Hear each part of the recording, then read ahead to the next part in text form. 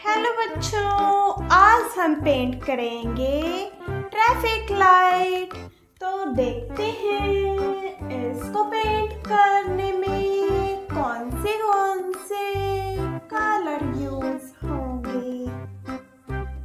Light green colour orange colour red colour baby pink colour yellow colour sky blue color.